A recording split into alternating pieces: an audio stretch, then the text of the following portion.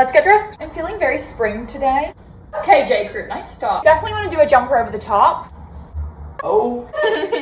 Another of my favorite tricks. This is fashion. White slides, white cowboy boots.